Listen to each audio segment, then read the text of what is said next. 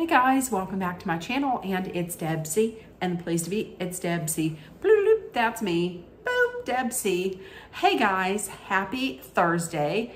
I hope everybody is having a great day, if not a great day, and at least a good day.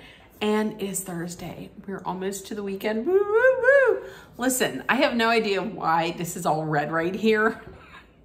I got like a little blemish here, but then here, I don't know why it's all red what the hell? It's the week, it's almost the weekend and my face is like, let's get it started, let's party. Speaking of a party, so last night, it was the return of probably, probably my favorite, yes, my favorite city in the Housewives franchise, and that is Real Housewives of Beverly Hills. Um, for the longest time, my favorite was Real Housewives of New York City. And then the last season with the legacy with the OGs happened. And I was like, hmm, don't know about that. So my favorite is Real Housewives of Beverly Hills.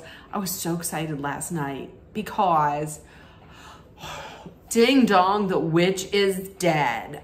Rinna is gone and I was so, so very happy. Listen, if you like Lisa Rinna, cool on you. I haven't, I, didn't, I didn't like her. I don't even want to say from the get-go on this show.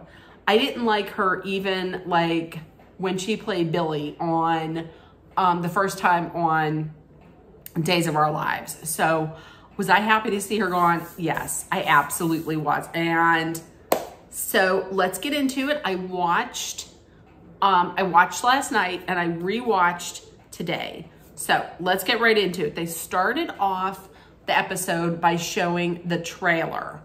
And from what I understand, there is going to be a dinner party that takes up two shows. And I had heard that it is going to rival like the dinner party from hell. Mm-hmm. There's going to be some special guests there. There's going to be um, Denise Richards there is going to be Denise Richards, Camille's going to be there, Kim Richards is going to be there, and even Cynthia Bailey from Real Housewives of Atlanta is going to be there. So I don't know. Andy is saying it's it's pretty epic. It's it's it's a lot. He's saying it's a lot. And if all of those people were in attendance, I'm kind of thinking it might be. So let's get into the episode. To start off with um, PK and Dorit. Dorit has, her hair is a little darker. At first, when I saw it, I was like, I do not like it. Um, but then as the episode went on, I kind of warmed up to a little bit more. So um, Dorit had a couple ladies over to her house. And one of the women was Eagle Woman. She's a spiritual healer. And the other one was Nancy, but her name, what was it? Her name was Blue Raven or something like that, which kind of makes me think, like, what would, if I were a spir spiritual healer, what would my name be? Docile pepperoni? I don't know. I don't know. Put in the comments below what yours would be if you were a spiritual healer. I don't think I could be a spiritual healer. So um, says she is going to have a spiritual retreat. She invites the ladies. All the ladies um, say that they will attend. She's hoping that they can open up and they can heal. Good luck. Good luck with that. Um, listen, the, the funniest part of this whole episode was my two favorites, Sutton and Garcelle. They are going to the um, the retreat. And when Garcelle says her God-given government name cannot be Eagle Woman, I was like, her God-given government name cannot be cannot be Eagle Woman. Hey, I would have said it too. I probably would have thought it myself. Uh, going into this retreat, Kyle says she was very hurt by a lot of by a lot of people last year, a lot of the women, um, in how they handled the situation with her and her sister Kathy. Um, she's very nervous about seeing about seeing the women. Um, we then find out that Sutton bought a horse in the Netherlands. Like, listen, I'm gonna tell you right now, I need to be Sutton Stracke rich. Like, there's rich, and then there's Sutton Stracke rich. She wasn't just like, I'm going to buy a pony here in America. She's like, I'm going to go to the Netherlands and I'm going to buy a horse in the Netherlands. I need to be Sutton Stracke rich. I'm just telling you. Um, next was Erika. Now, Erika showed up at the retreat looking very, very felt. Um, and everybody was like, oh my gosh, you're so skinny. I wish I could be skinny as you. I wish I could be so skinny as you. And walking in, she said she something like she feels like a man on her own island now that she lost her only friend on the show. Okay. Um, and she walks in once again, everybody's like, You're so skinny. How'd you get so skinny? And then then they then they flash on um, Dorit's confessional. Dorit really got it, really, really got it going in for um, for Erika. and she says, well, before that, I think Erika says, oh, it's hormones. Um, Dorit burns, Dorit burns her by saying, no, I think it's spelled O-Z-E-M-P-I-C. Now, that was brutal. I mean, that was brutal. I, am not, listen, I'm not about shaming anybody body wise at all. However you did it, you did it. Um, I'm just saying, if I, if I were to take hormones, listen, I would probably put on 900 pounds and have a ZZ Top mustache and beard. So, I don't know. Am I buying it? I don't know. I don't think I am. But then, but then after people, the producer said, "Are you on Ozempic or Wegovy?" Wegovy, because people were saying that, and she's like, "No, it's hormones, and these some of these people should think about getting them themselves."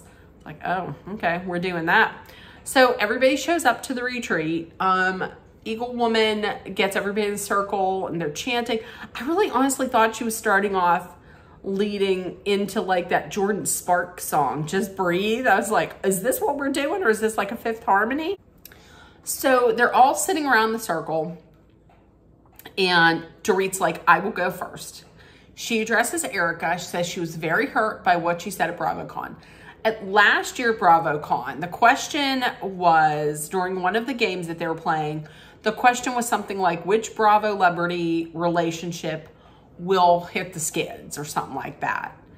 And Erika walked straight up and she was like, mm, mm, mm. PK and. Ooh. And then walked back.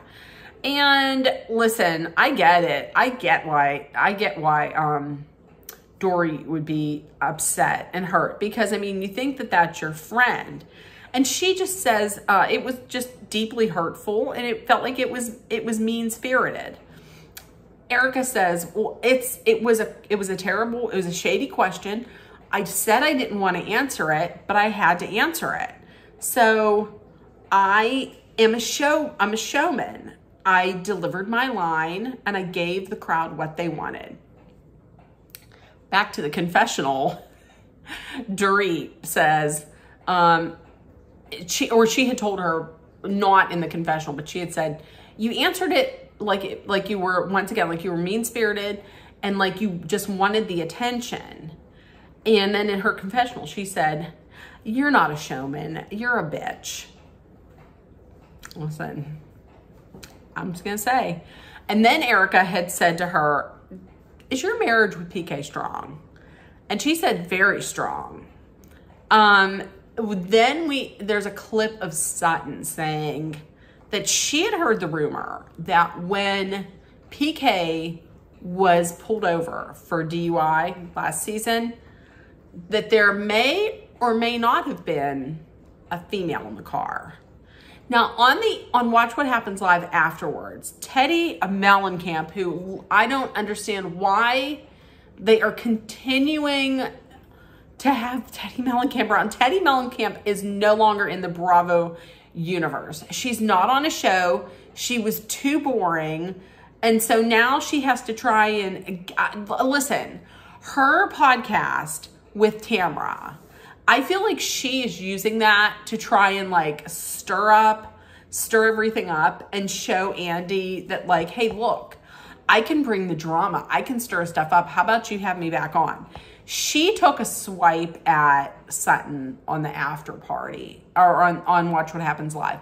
I didn't write any of it down because I could care less about, I, I listen, uh, no, no thank you. Try, stop trying to make fetch happen. Fetch is never going to happen. Um, Erika apologized to everybody. She's like, um, I apologized if I was mean or I was vicious. I had a lot of stuff going on last year and I apologize. Garcelle was like, hmm, I'm going to be open to it. She's like, I will be open to giving her a chance, but if it don't work out, then this is karma.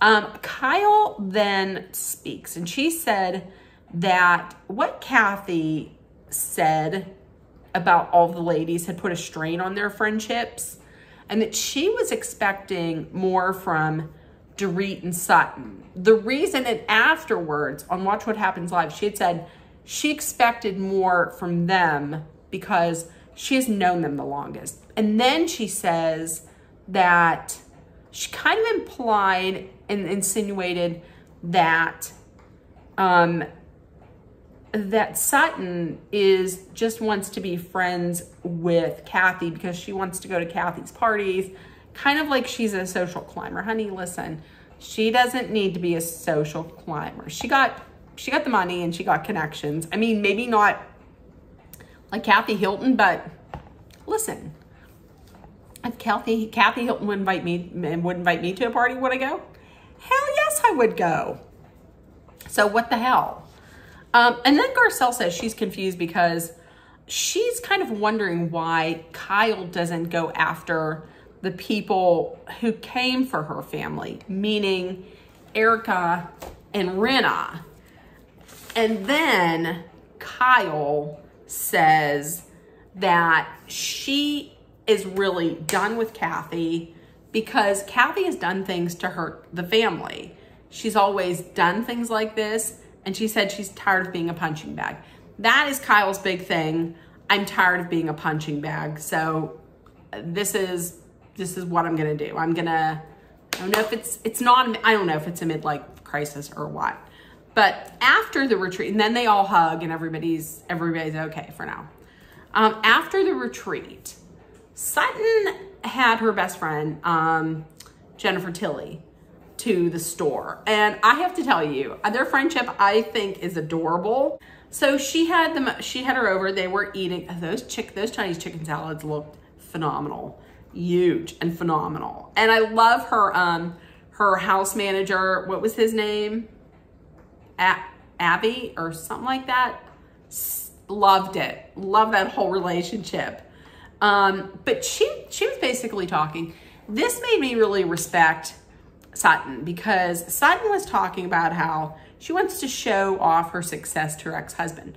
When they had gotten married, um, I, from what I understand, they started a company together. They did not have a lot going into this. They started this company together. She got pregnant. So he was like, you are not working anymore. That's it. And he gave her an allowance.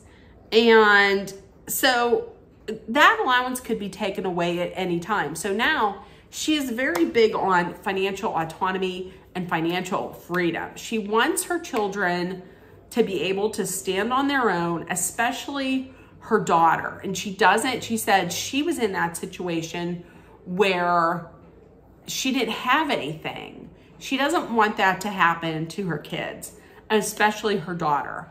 And I have to tell you, I commend her for that.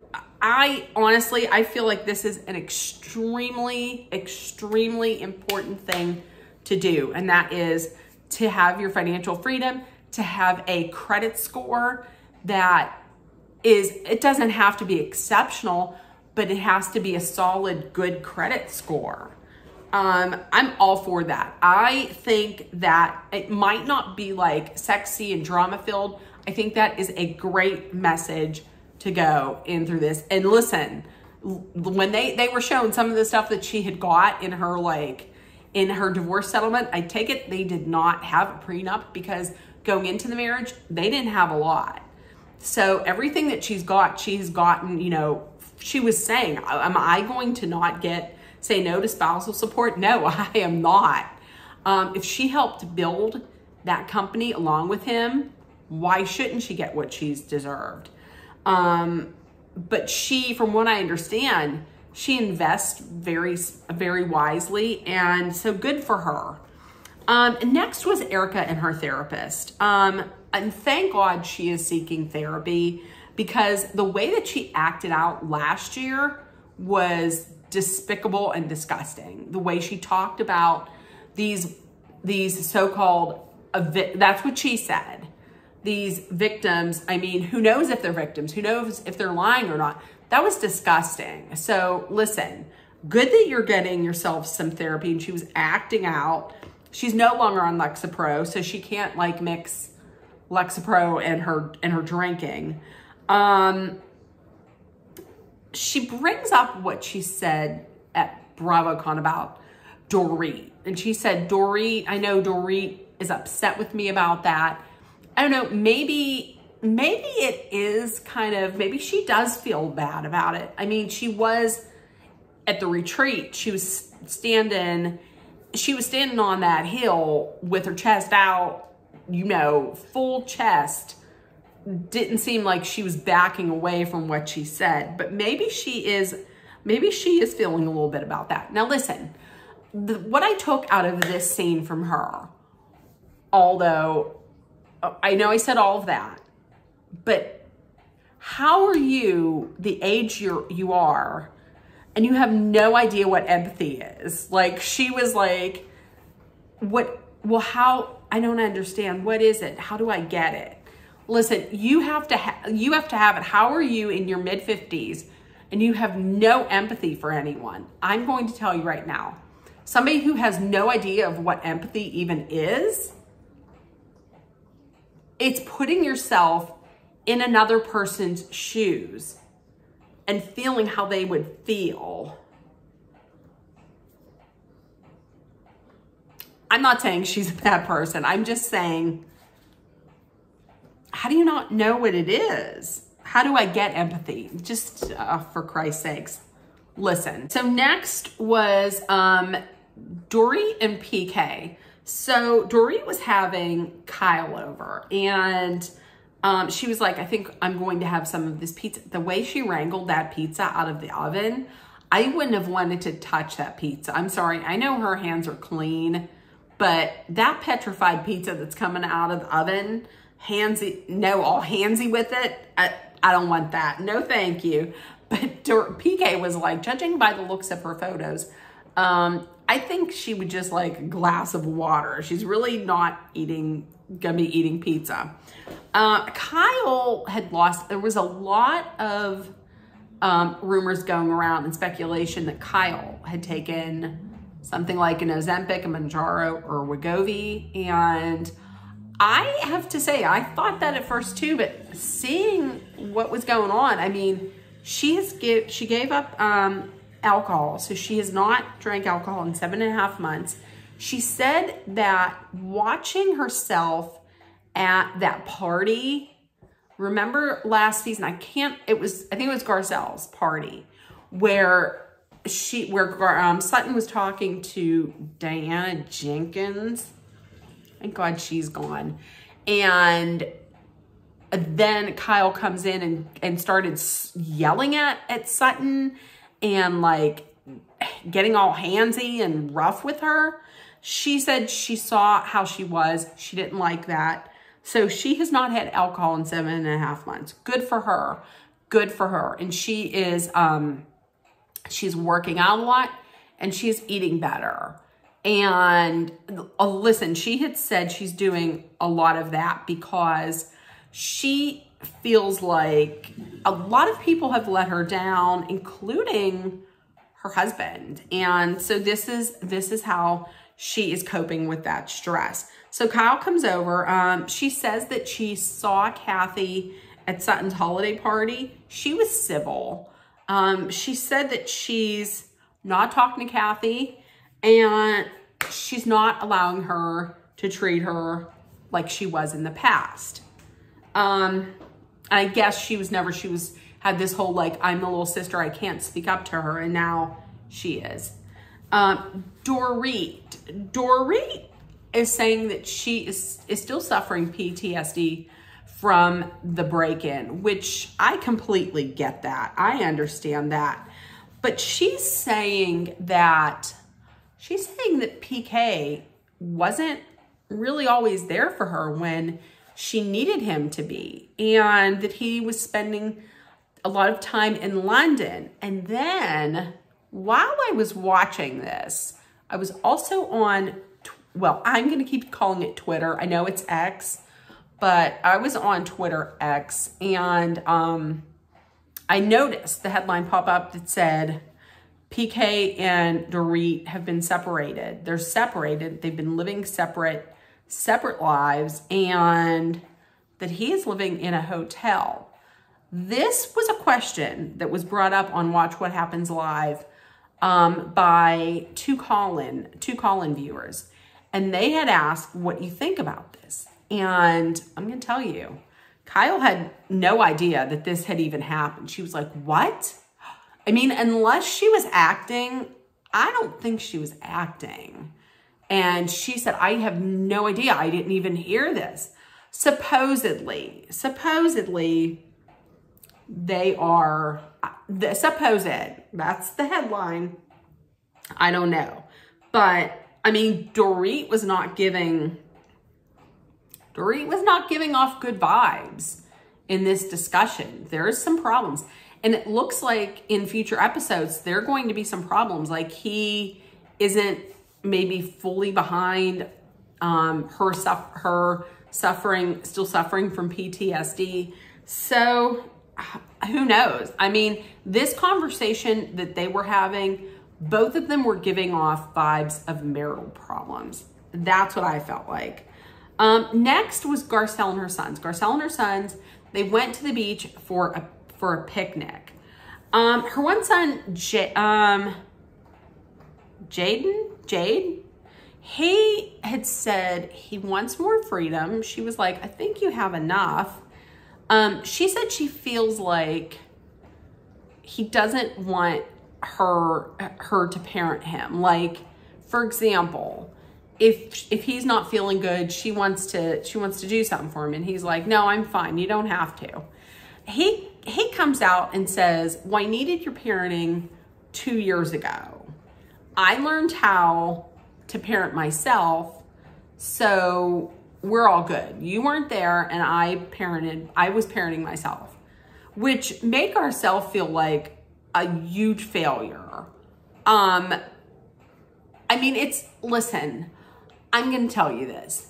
It's, he was not disrespectful and it's, it's good that he can vocalize this, but I'm going to tell you, this might, this may not be popular to say this, but what the fuck? Listen, she, the reason why she was not working there, what, why she was not there was because she was working to provide for you. Like all of these fancy clothes that you have and these nice shoes and everything that you have, um, that's because she works to provide that for you. Once again, I didn't think it was disrespectful, but she wasn't there because she was providing for you. That's it, period. Um, and the last scene was with Kyle Mauricio. Um, Kyle had said that it's been a challenging year for both of them as far as work goes. He's very, he's very um, busy and so is she. Um, she then uh, what does he say? He says, oh, you look amazing. You look absolutely amazing. You're working out. You're not drinking anymore. You are eating pro you're eating properly. You're eating healthy. Keep up the great work. You look amazing. Wait a minute. What is it with that tattoo? I didn't know that you had that tattoo. How many do you have? So he has no idea of like how many tattoos she has. Meanwhile, she was like, in the past, I would get a freckle and he would notice it because he would look at me. Um, and then he says, and I did not like this. He was like,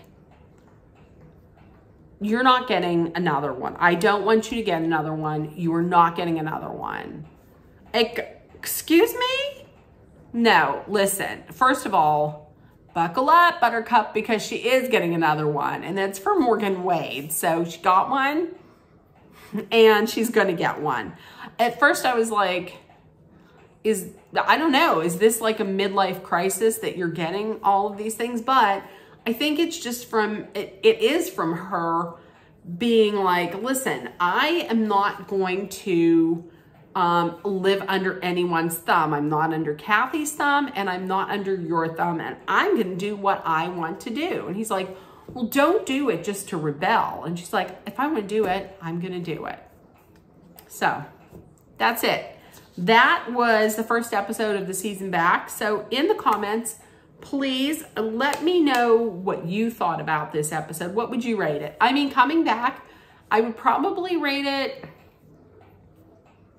mm, I'm probably rated a six. Um, do I wish Lisa Rinna was back? No, I don't. I absolutely do not. It's going to take a, uh, it's going to take more than one episode for the drama to come, but as we know, there will be drama. So with that being said, if nobody told you yet today, I love you. You're loved, seen, and heard. Please make sure that you put love, kindness, compassion, acceptance, hope, and positivity out there. Please take care of one another. Please also, in the wake of what happened in Maine, please, please, please, please be aware of your surroundings and please be safe. Please, please be safe because you you never know. You never know what is going to happen. And please let's take care of one another. And I will see you guys tomorrow for a wrap up of The Golden Bachelor. So I will see you guys tomorrow. Love you guys. Bye, guys.